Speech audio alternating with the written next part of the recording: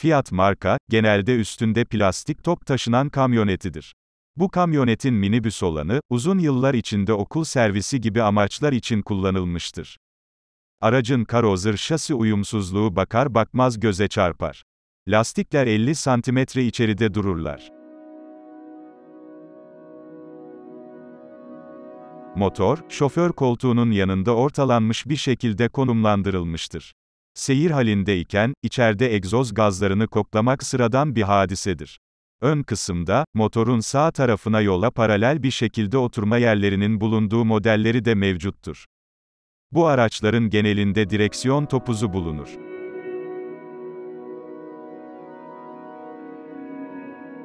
Türkiye'de montaj sanayinin canlanmaya başladığı 1960'lı yılların başlarında, montajcılar, özellikle şehir içi nakliye işlerinde kullanılmak üzere 3.5 tonluk küçük kamyonlar da ürettiler. Şehir içi nakliye işleri o yıllarda ağırlıklı olarak benzinli kamyon veya kamyonetlerle yapılıyordu. Bu araçlar, hem eski ve hem de benzinli oluşları sebebiyle çalıştıranları bakım onarım ve yakıt yönünden maddi olarak zorluyordu. Montajcılar, bu açığı görerek muhtelif modellerle piyasaya girdiler. Fargo, Dodge, DeSoto markalı kamyonların üreticisi, Chrysler Sanayi çok az sayıda 300 modeliyle, BMW TM80 ve 100 modeliyle, Bedford üreticisi Genoto ise KBC10 modeliyle bu piyasada nasiplerini aradılar. 300 ve TM80 burunluydu.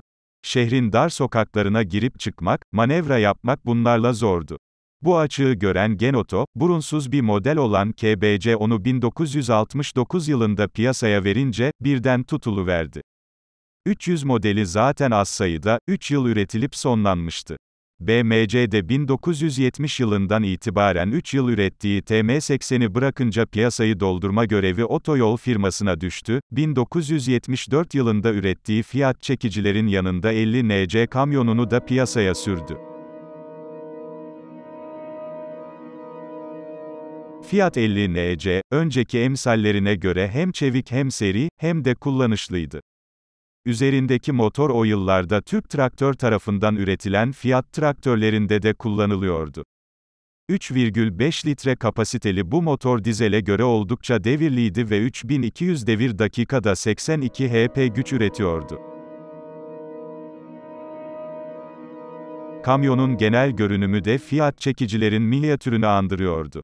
Ön camlardaki üçlü silecekler, oldukça hoş bir gösterge tablosu, 5 ileri vitesli seri bir şanzuman, Murat 124'lerde de kullanılan güçlü karelo farlar, bazı parça ve aksesuarların 124 ile uyum göstermesi gibi özellikler kamyonu baştan cazip kılıyordu. Bu özelliklere bir de o yıllar için pire gibi bir ataklık ilave edilince piyasayı bir anda tutuvermişti. 50 NC ile KBC-10 Bedford tatlı bir rekabet içerisinde üretimlerini sürdürdüler.